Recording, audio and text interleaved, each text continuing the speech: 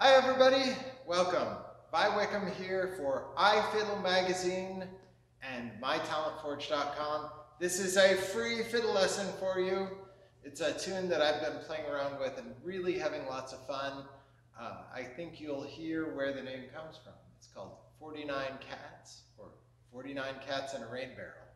Um, and it's in the key of D and it goes back and forth between D and B minor. Um, the A part just kind of rocks back and forth. And um, I'm going to teach you the melody first. We'll, we'll look at the melody, kind of look at what those important notes are in it. I'll play it for you up to speed first, then we'll break it down, then we'll play it slowly, and maybe if we have time, uh, we'll look at a little bit of uh, variations uh, improvisations that I do with it. But when I play it up to speed, I'm going to throw a little bit of fun into it.